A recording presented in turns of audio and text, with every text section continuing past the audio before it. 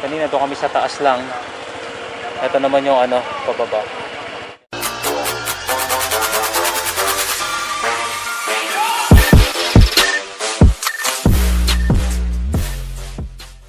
Hello mga brad, welcome back to my channel mga brad. Ang gagawin namin ngayon is pupunta kami ng ah, Batangas mga brad.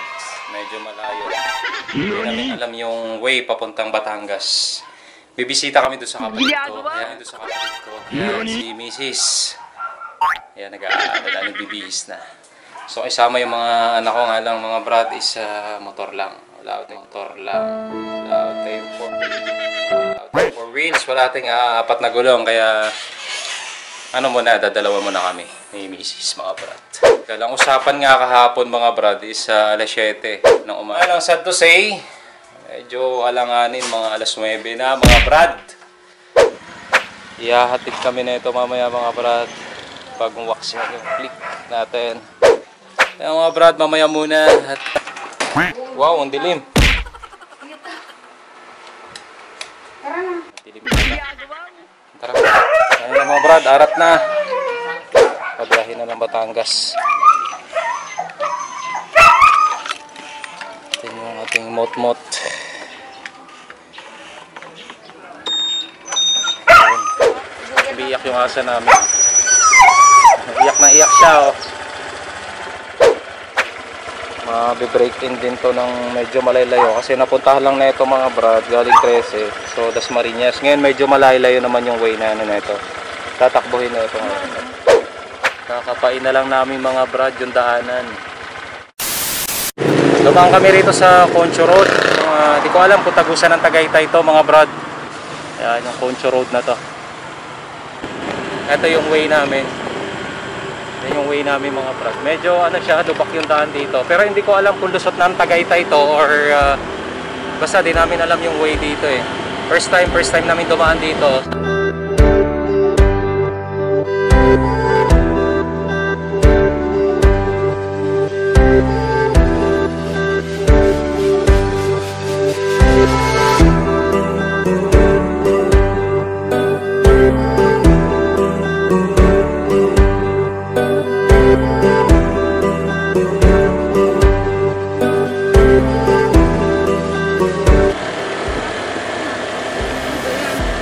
Ibayani.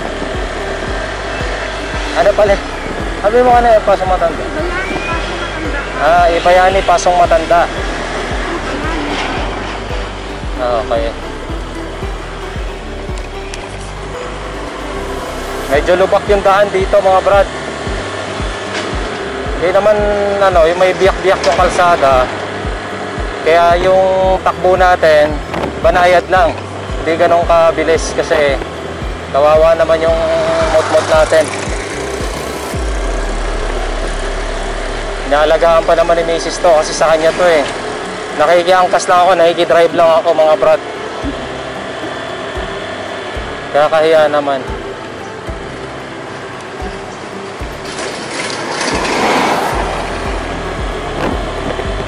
Yung daanan dito, medyo ano, yung hindi ganun ka mabahay ba. Hindi ko lang alam kung delikado rito pag dumadaan ka ng alanganing oras.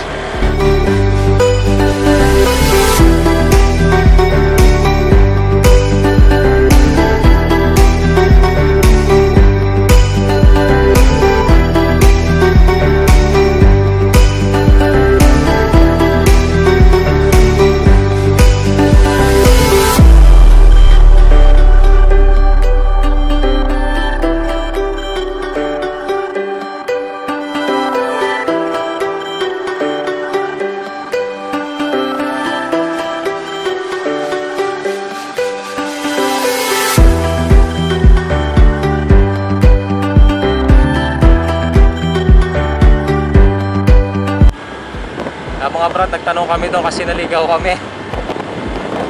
Nagtanong kami doon kay kuya kung saan yung Pangil Road. Ito pala, sabi, lulu ano lang daw, dire-diretso lang. Dire-diretso lang daw dito. Lusot daw na ito pala, Tagaytay. Ikaw maniwala kay Google. Eh, medyo niligaw kami ni Google eh. Ni Google Map. Pinapabalik kami na Rosario. Butik na yan. Medyo malayo na yung binabiyahe namin mga brad.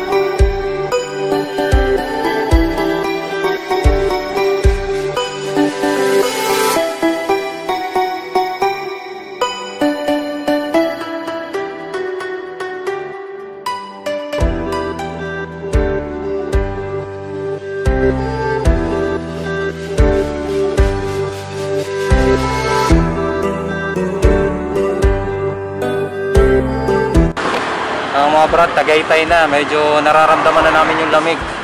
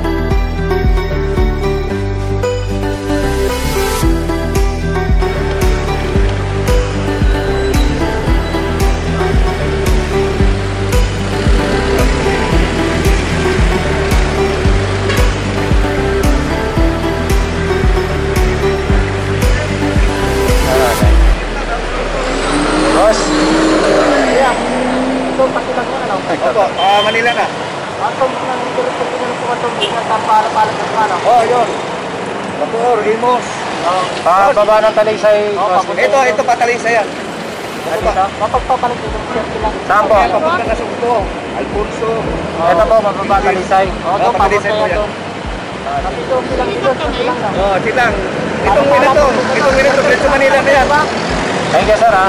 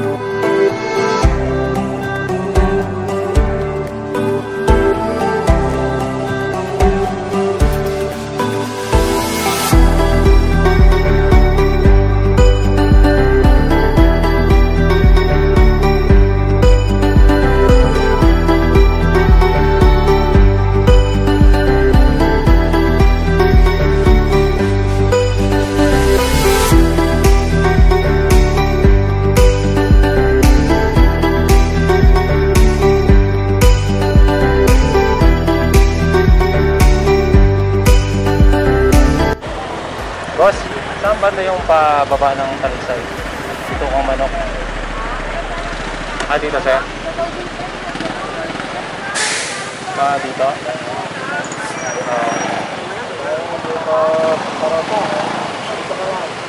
Pababa yun yung... Oh,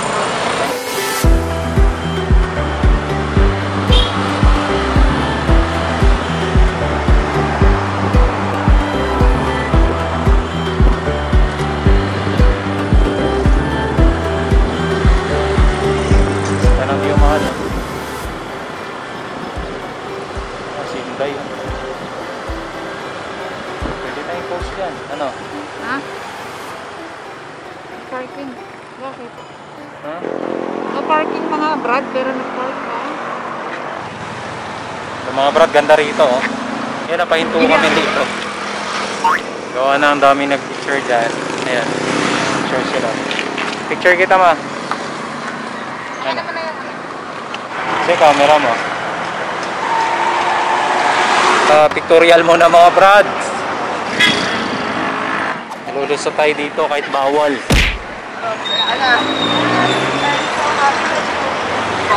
Mga brad, lulu- lululusot siya kahit bawal. May nakalagay na no parking, pasaway talaga. Ayan oh.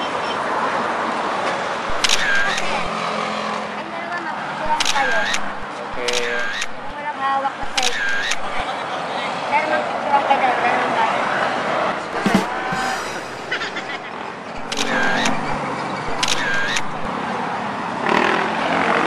Halos ano mga brad, bumabalik-balik kami kasi galing kami doon. Umakit kami pa Tagaytay doon sa pa-crossing. Tapos bumalik na naman kami rito sa Speedy Road.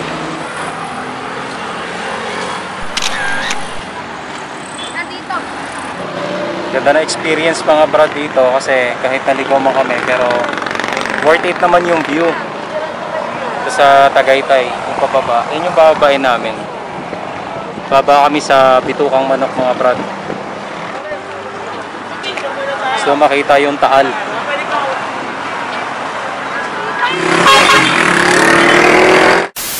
Ah mga brad, dito tayo sa ano, sa pababa na to, yung Bitukang Manok. ano to, ah, yung way dito medyo ano medyo check mo talaga yung brake kasi pababa to patalisay Ganda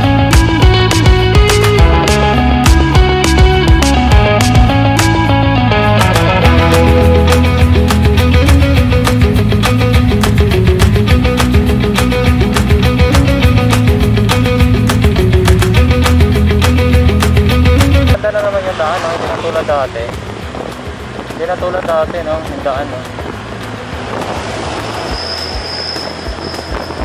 May mga kotse nga, oh. Mga ano ng kotse. Pagdating ko sa baba, picture, picture tayo doon.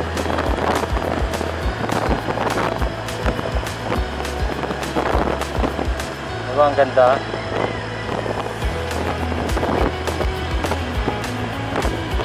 Ito mga brad, yung umpisa dito ng ano ng motor, yung pababa siya.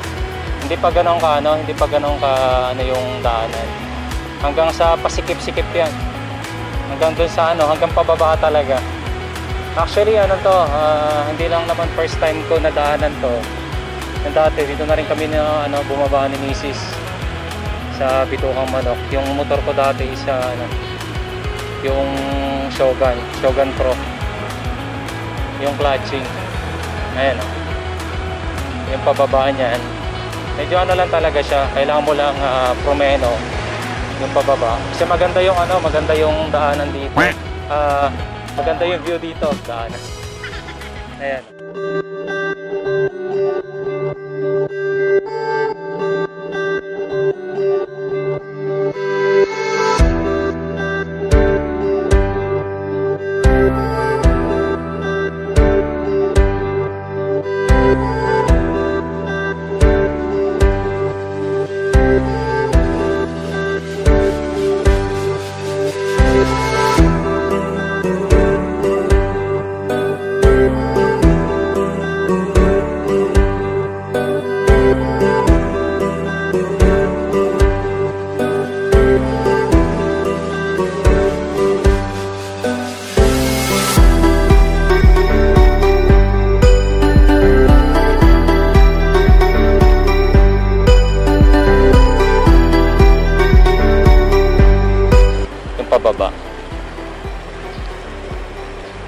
Basta ano lang, wala lang ano, wag ka mag-apply ng ano, gasolina. Ano lang talaga, alalay lang sa preno.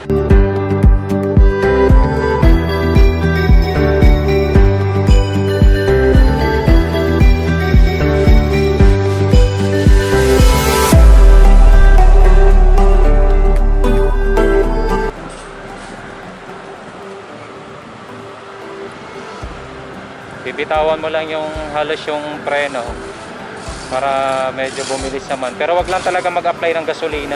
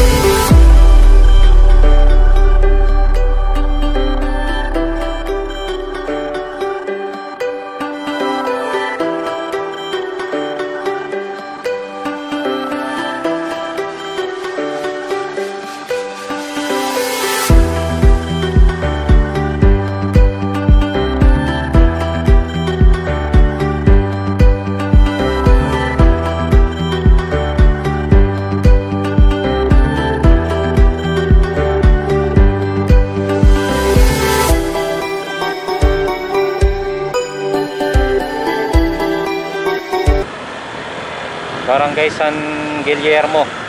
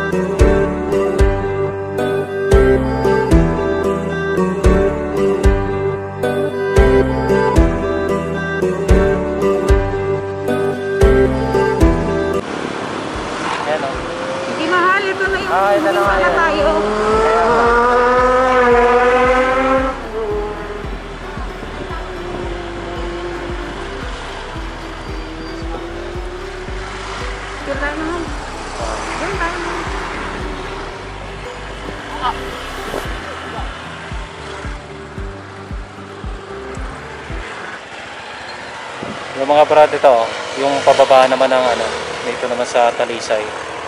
Yun yung ano yung taal, medyo palapit kami rito. Kanina doon kami sa taas lang. Ito naman yung ano, pababa. Ah, mga brad, diretso na kami kasi mag ano na 11 mahigit na. Yun yung view lang, ang ganda ng view kasi kaya napahinto rin kami ulit dito. Sarap bumaba doon banda oh. Next time na ano natin, babae natin yan. Pero as of ngayon, may pupuntahan kami mga brado sa kapatid ko. Kaya next time na lang pupunta tayo dito sa baba. Marami daw tilapia na ano dyan eh. Mura daw tilapia. Sabi nung bigas ko. Medyo gutom na pagbaba namin. Eh, tingin kami ng kainan doon. Maglulumi kami. Mga brad, mamaya muna.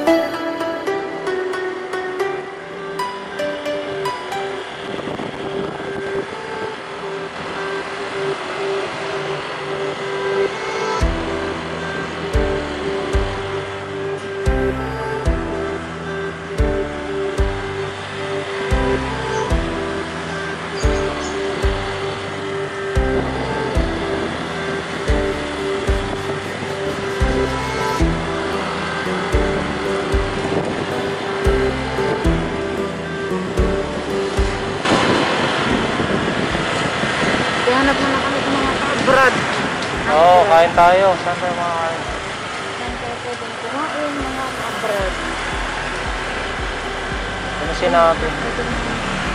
Ha? Hanap tayo dun, mahal. Patayin ko ito, mahal, ah. Patayin ko muna.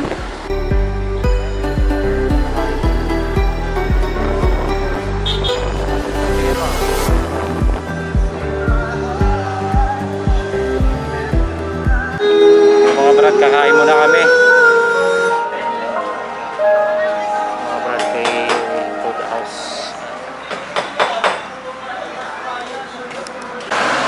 Yung mga brad, nagpapaluto na kami ng ano, mga brad lumi.